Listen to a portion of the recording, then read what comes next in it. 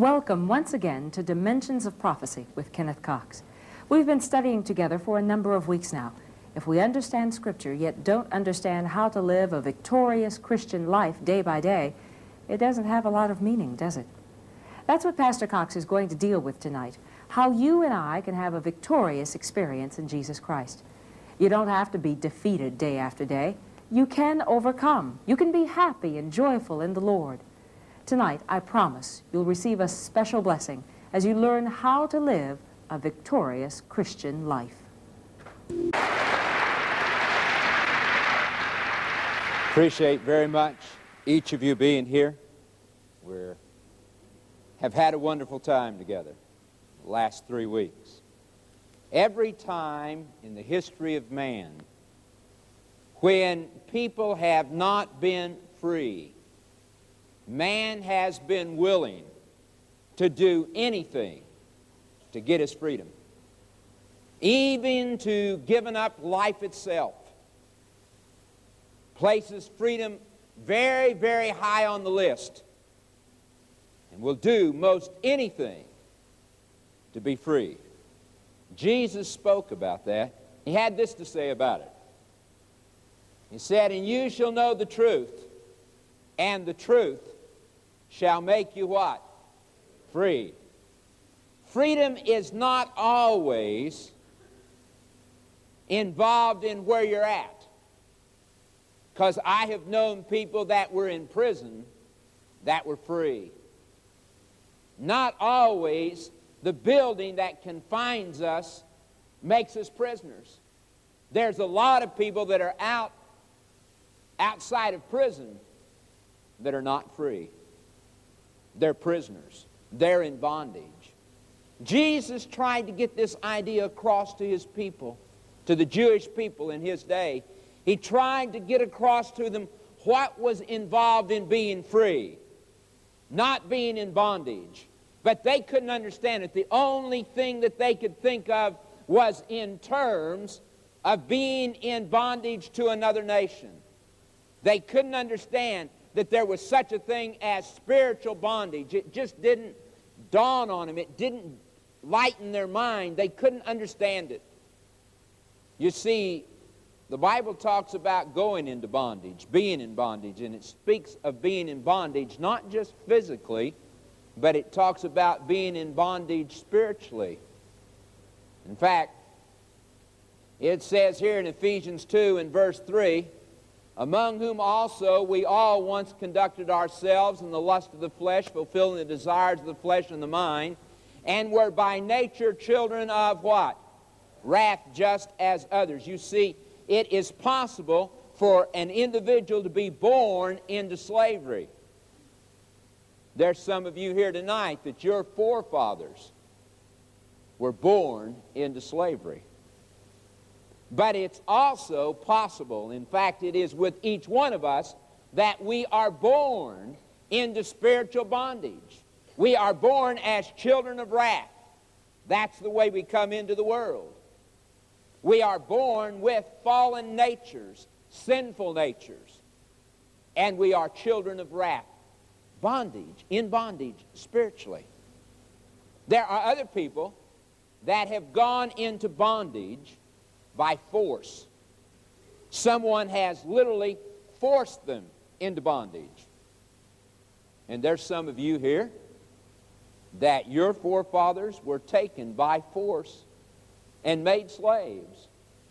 As you remember, Daniel, Shadrach, Meshach, Abednego were taken by Nebuchadnezzar and really forced into bondage. It is possible to be forced into bondage spiritually. Listen to what it says. And from the days of John the Baptist until now, the kingdom of heaven suffers violence, and the violent take it by what? Force. You see, some people have never got that clear. You see, God very, very seldom uses force. I find some people that they they feel that they've got to be forced. They're waiting for God to grab them by the nape of the neck and shake them. And if he'd just grab them by the nape, nape of the neck and shake them real hard, well, then they'd say, well, I'll do what the Lord wants me to do. The Lord doesn't work that way. But let me tell you a little secret. The devil does. I mean, he'll put all the pressure he can put on you. He believes in force. And he will do everything he can to keep you from doing that which is right. He doesn't mind using force at all. And there are many people that have been taken into bondage by force. It also says that there's people that have been sold into slavery. You remember Joseph's brothers sold him to the Ishmaelites on the way down to Egypt. And when he got to Egypt, you remember they put him on the auction block and auctioned him off, sold him into slavery. There's some of you folks here whose forefathers were sold into slavery. The Bible says that we're sold into slavery spiritually. Thus says the Lord, says the Lord Where is the certificate of your mother's divorce, whom I have put away? Or which one of my creditors is it to whom I have sold you? For your iniquities you have sold yourselves, and for your transgressions your mother has been put away. So it says that we sell ourselves into slavery by our iniquities, by our sins. We are taken into slavery. Christ was trying to get these principles across to his people. In fact, he told them they were in slavery, told them they were in bondage. And when he did this, this is how they replied. And they answered him, We are Abraham's descendants, and we're never in bondage to anyone. How is it that you say you will, you will be made free? He, they said, We're children of Abraham. We're, we're not in bondage to anybody. What do you mean we'll be made free? And listen to Jesus' answer. Jesus answered them, Most assuredly I say to you, whoever commits sin is a slave of sin. See, I am a slave of sin if I don't understand the freedom that there is in Jesus Christ. Now, there's a lot of ways that people have gotten out of slavery over the years. You can remember that there are some people that have gotten out of slavery simply by buying their way out. They just saved up enough money, had some friends, relatives that gave them money, and they got enough money to buy their freedom. There were some people in the days of slavery that got out by buying their freedom. It's possible physically to buy your freedom. Is it possible to buy your freedom spiritually? Well, if you're going to buy your freedom, you see, the owner has to be willing to sell, doesn't he? And the devil's not willing to sell. So you're not going to buy your freedom spiritually.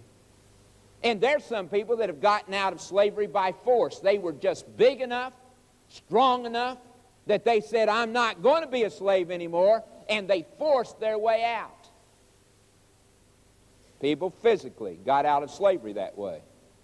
You think you can get out of bondage spiritually that way? Now, I don't think there's any of us here that are stronger than the devil.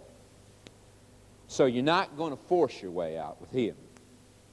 And there are some people that got out of slavery by running away. They ran off, said, I'm not going to be a slave anymore. I don't know that that's really freedom. You know, if you're always looking over your shoulder, I don't know how free that is. But nevertheless, they ran off. But spiritually, you can't do that. There's no way you can go where you can run off where the devil won't find you. Impossible. And of course, there were some people, a lot of people that got out of slavery simply by being released. Proclamation emancipation set them free. Released. Now, physically, they were released from slavery. Spiritually, we're not going to get out of slavery that way because the devil's not going to release anybody. So, what I want to ask you tonight is if you can't buy your way spiritually, you can't force your way spiritually, you can't run away spiritually, the devil's not going to release you, how are you going to get out of bondage? How are you going to get out of spiritual bondage if none of those things work? Well, I want to share with you how you get out. This is what it says. It says, For we know that the law is spiritual. Now, the law, not anything wrong with the law, the law is spiritual. But I am carnal, what? Sold under sin. That law holds me in bondage because I am guilty. You follow me? I have sinned. And because we have sinned, the law, which is good, the law is good, holy, just, not anything wrong with the law, but it holds you in bondage.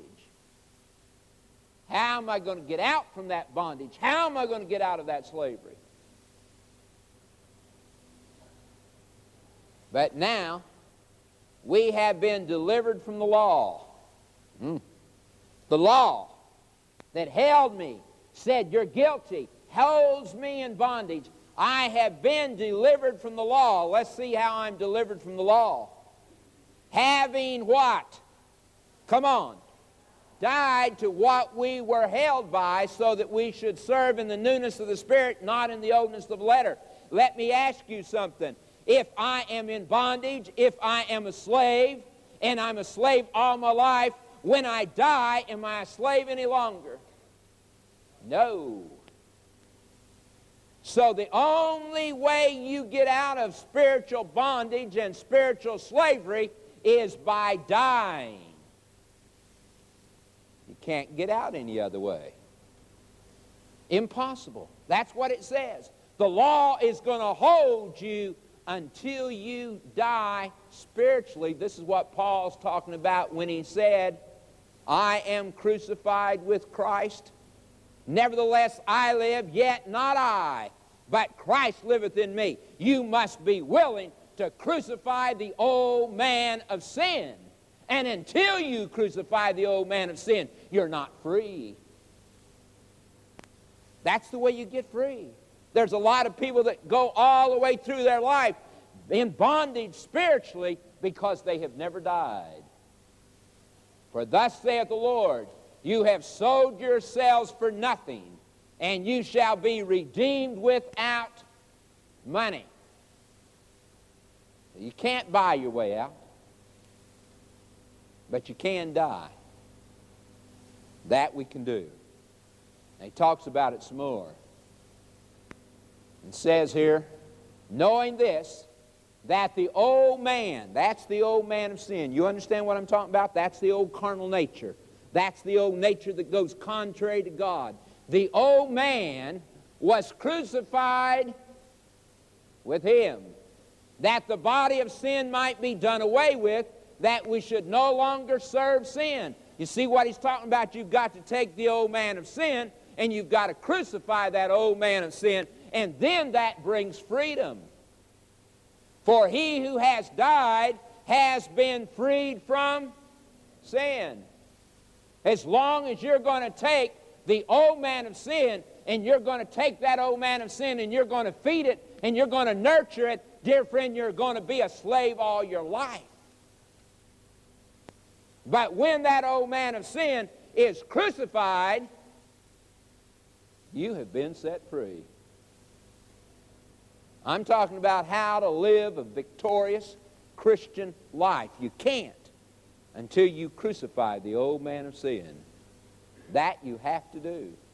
Inasmuch then, as the children have partaken of flesh and blood, he also himself likewise shared in the same, that through death he might destroy him who had the power of death, that is the devil. You see, it's talking about the victory over the devil. Destroyed him all right, listen, it continues in the book of Hebrew.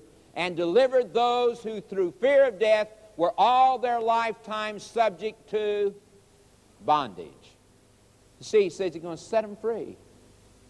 But I have to be willing to die to the old man of sin. That's necessary.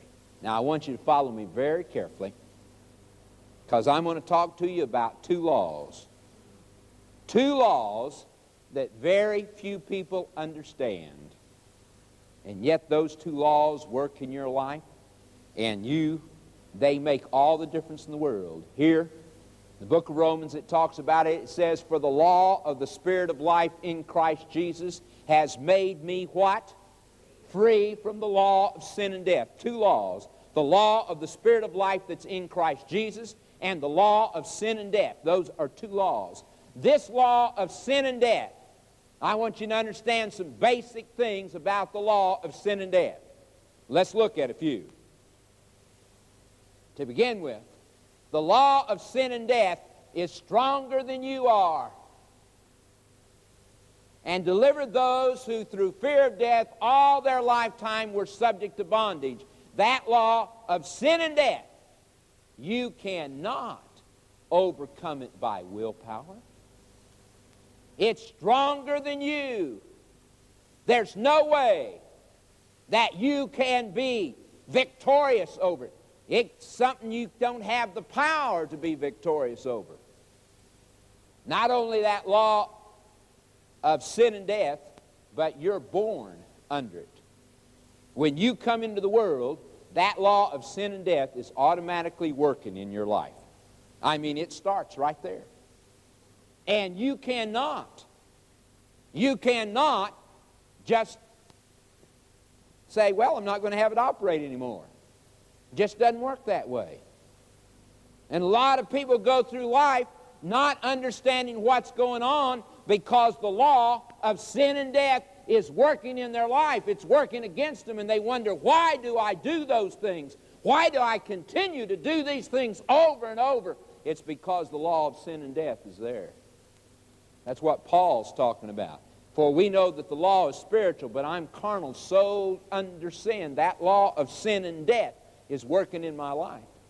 Also, you'll find that this law of sin and death is stronger than our willpower. Our willpower is not strong enough to change it. It won't change it. It won't make any difference in it whatsoever. Do you understand what I'm saying? Huh? You understand what I'm talking about?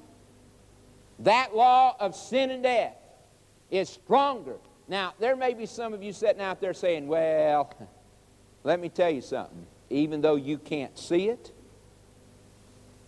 even though you can't feel it, even though it shows no signs, you better believe it's there.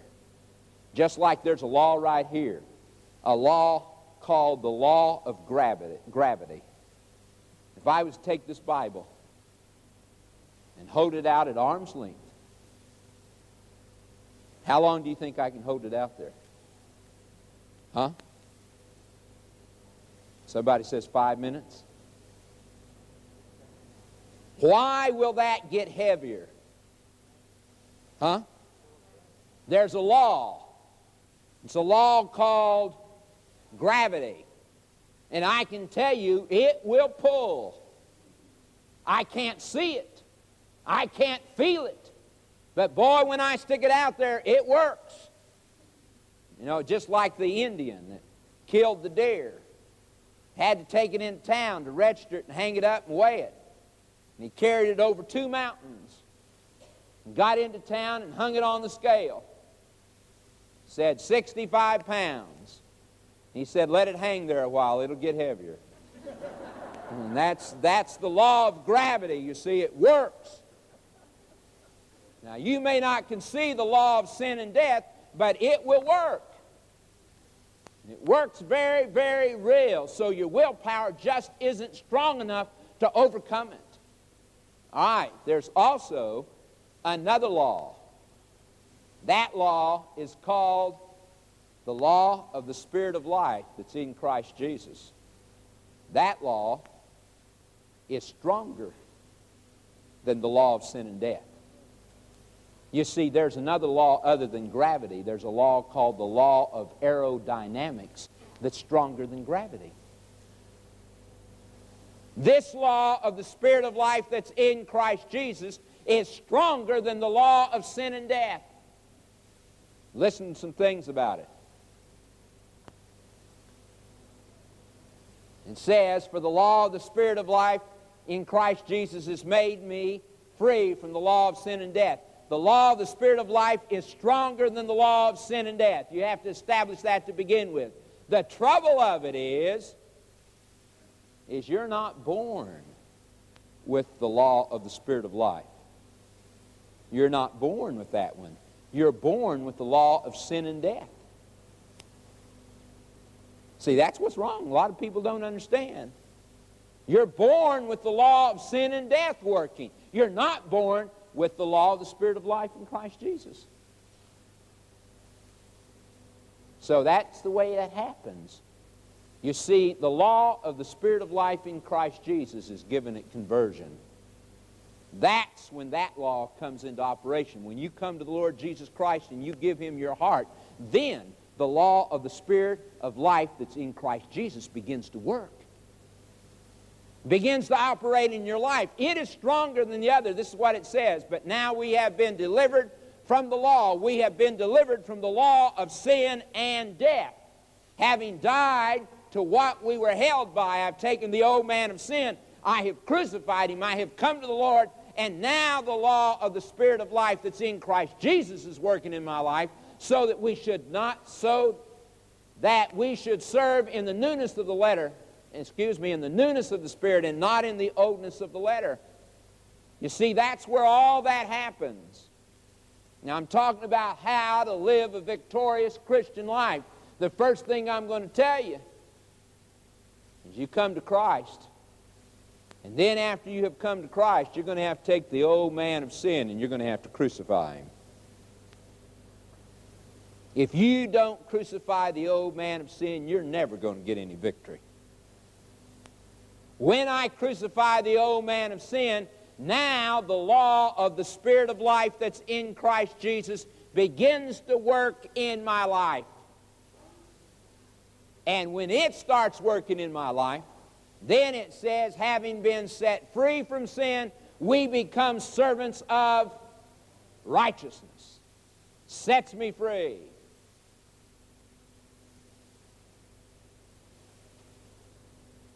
Knowing this, that the old man was crucified with him, took the old man of sin, crucified him with Jesus Christ. That the body of sin might be done away with, that we should no longer serve sin.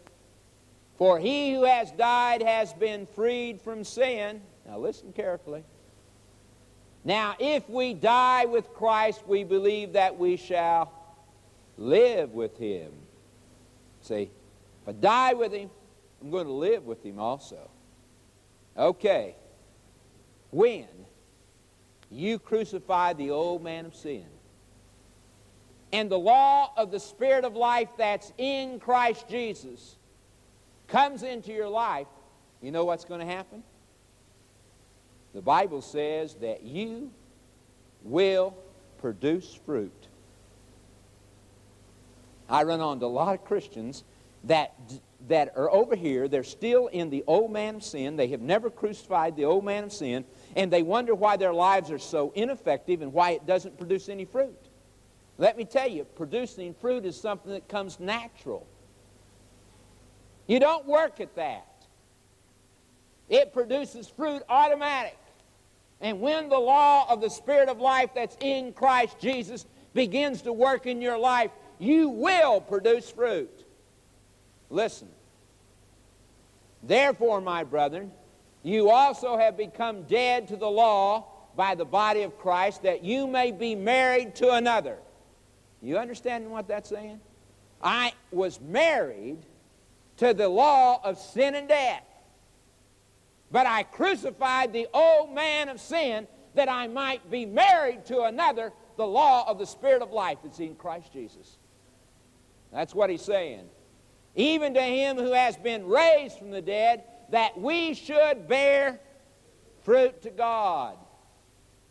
But now, having been set free from sin and having become servants to God, you have your fruit in holiness and the end, everlasting life.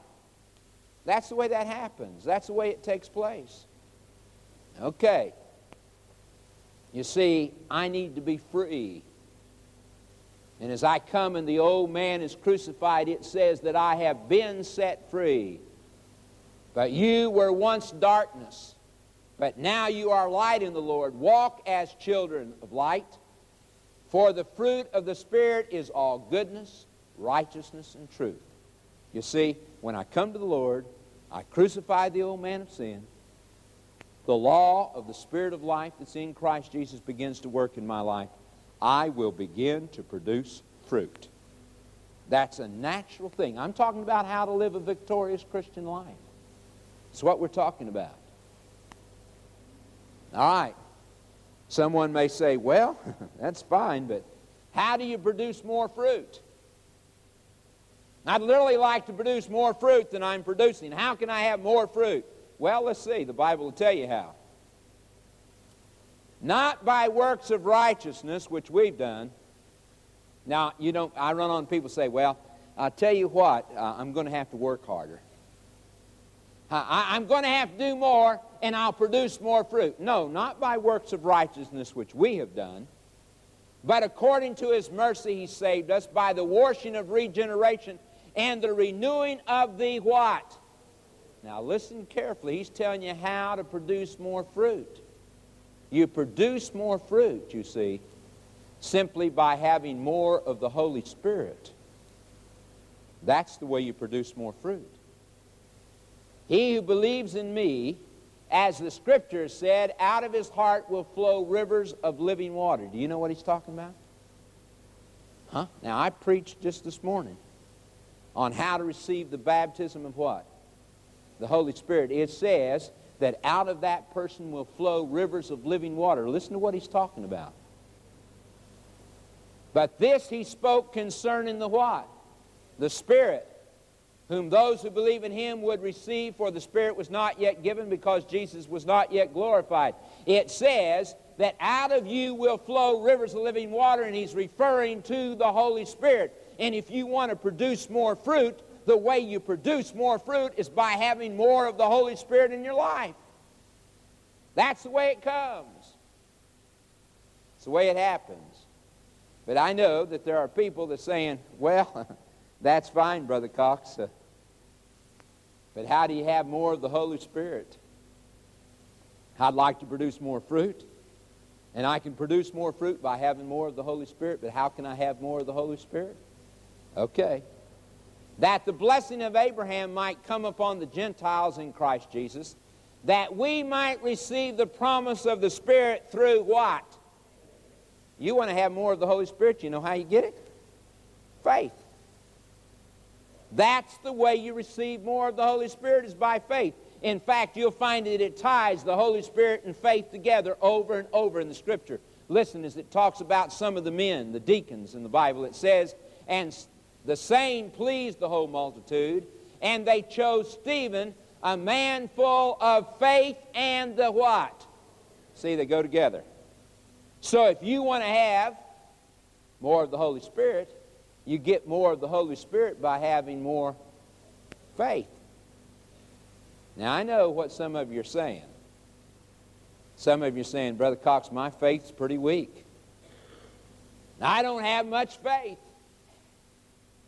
Well, I'm going to tell you how to have faith. Because this is what it says. So then, faith comes by hearing, and hearing by the Word of God.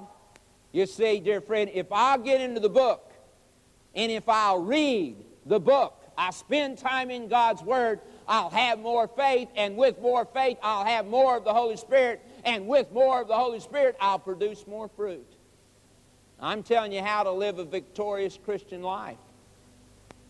That's the way it comes. You can't go through life and not spend any time with this, dear friend. You've got to get into the book. You've got to open up your heart. You've got to look at it. And I can tell you, it'll make all the difference in your, the world in your life. Change your whole life. You talk about blessings. You talk about joy. You talk about peace. You talk about love. That comes with this. If your life's not happy, then come to the Lord. Turn your life over to Him. He'll make all the difference in the world in it. But this is the way you live a Christian life. Now, this thing of faith, we ought to talk about faith just for a moment because faith involves certain things. You need to understand it.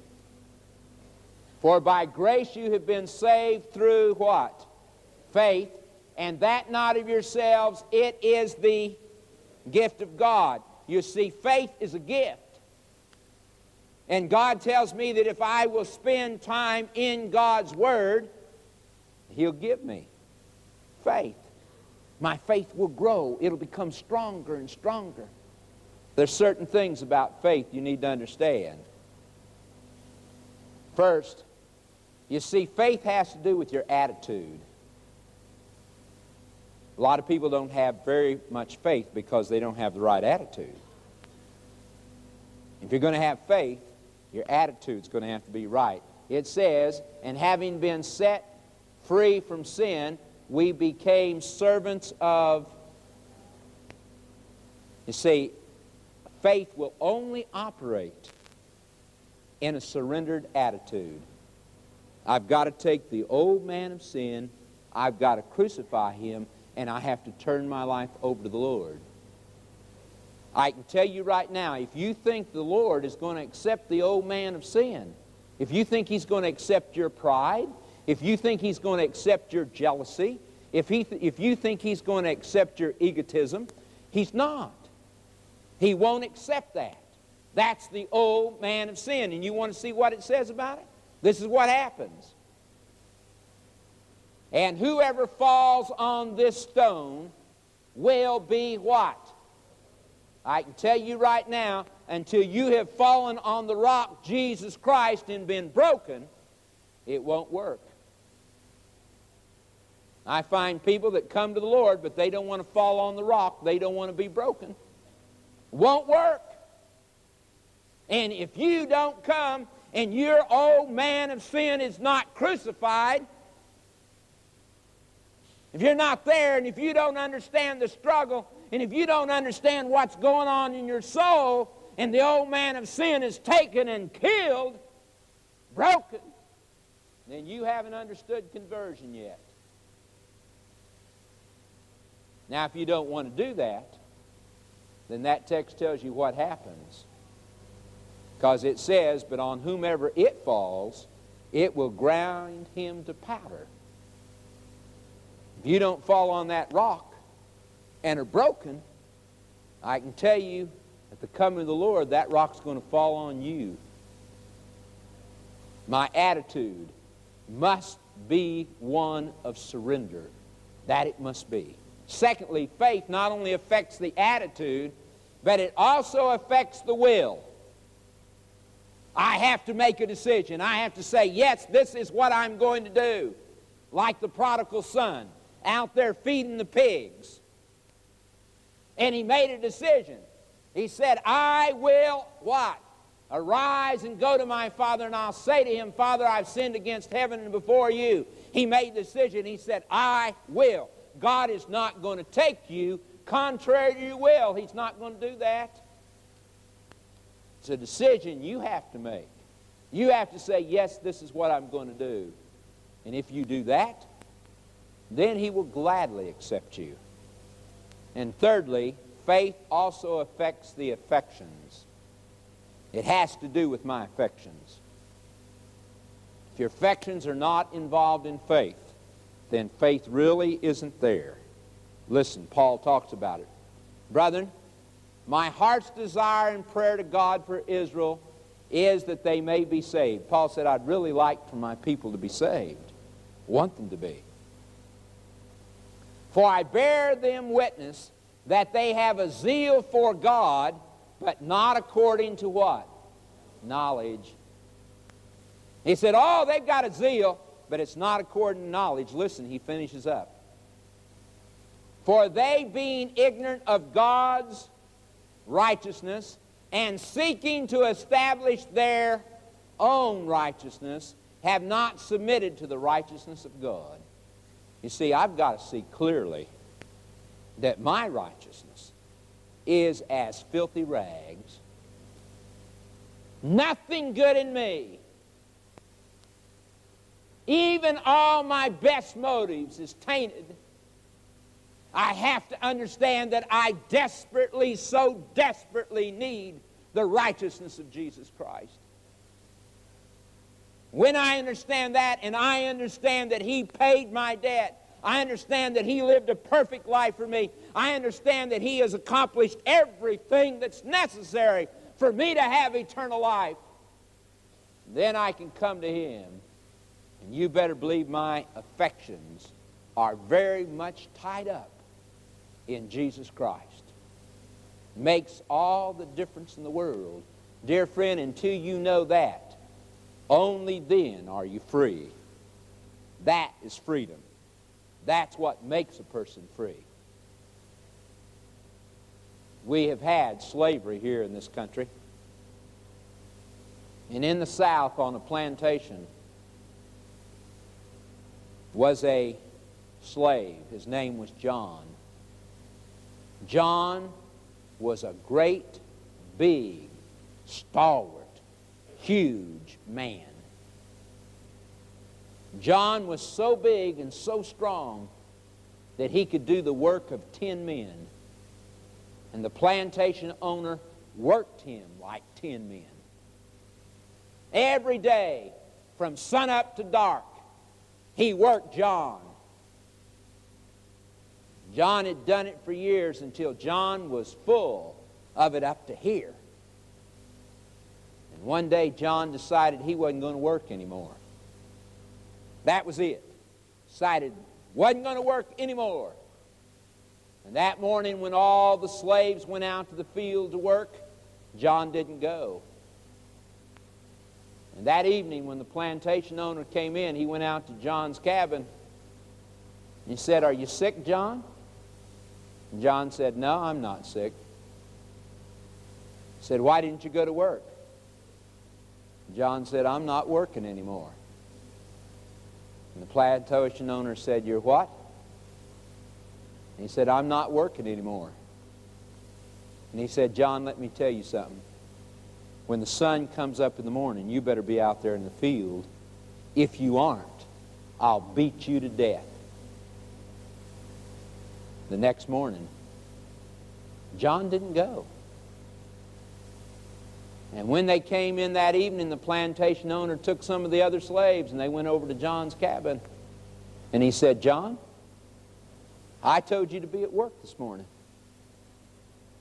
And John said, I know. He said, Why didn't you go to work? He said, Because I'm not working anymore. And the plantation owner had those other slaves tie him up, tied him up to a post, and he took a horsewhip peeled the shirt off his back.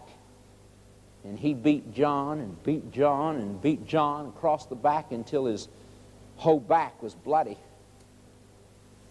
And he said, Now I'm telling you, if you don't go to work in the morning, I'll beat you to death.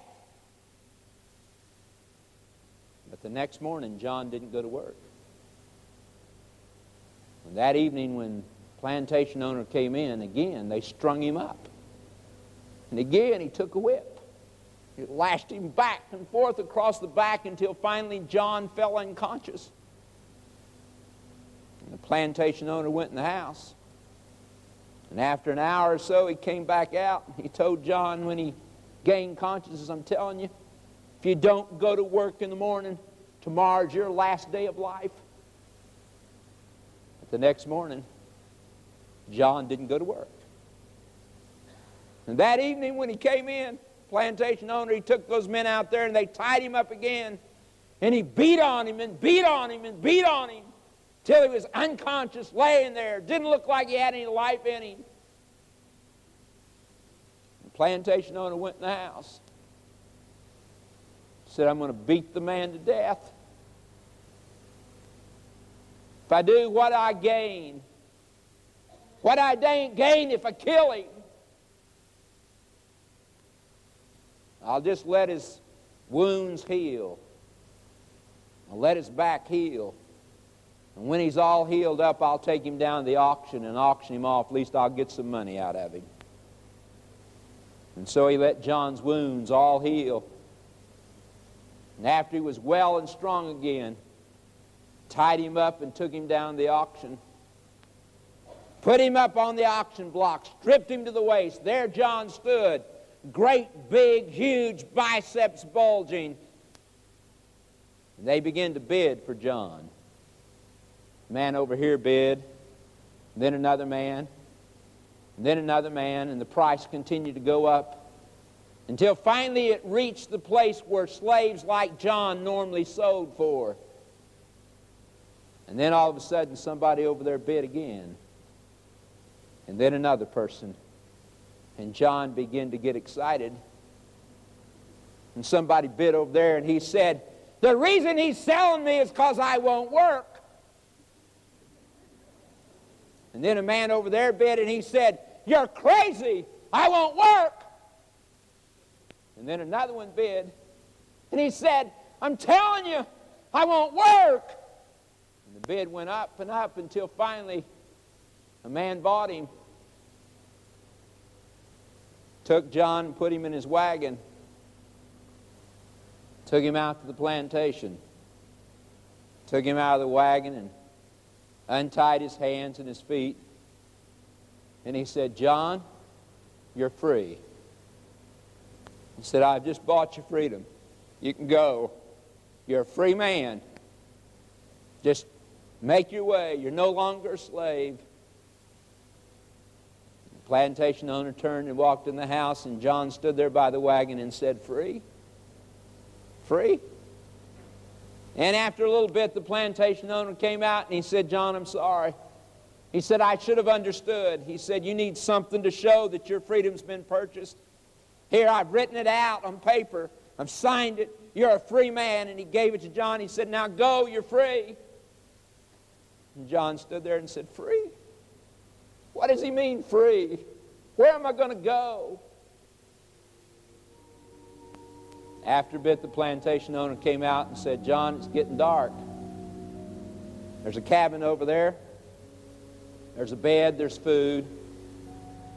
You can spend the night there. And in the morning, you can go on your way. John went over and spent the night in the cabin. The next morning, when he got up, went out, the plantation owner met him and said, It's a new day, John. You're a free man. You can go. John said, Free? Where am I going to go? Who's going to believe me? What am I going to do? He said, You're the only one that's ever done anything for me. You're the only one that's ever cared about me. I don't want to go anywhere. I want to stay here. I want to work for you. Oh, dear friends, that's what it's all about with Jesus Christ. He's the one that loves us. He's the one that's done something for us, nobody else. He's the one that died for you. He's the one that's willing to set you free. Only in Christ, nobody else. That's the way that you and I receive freedom. We're in bondage. Jesus Christ has set you free, made you free in Him. I want you to listen. Steve sings about that freedom. We thank you. God bless you all. Good night.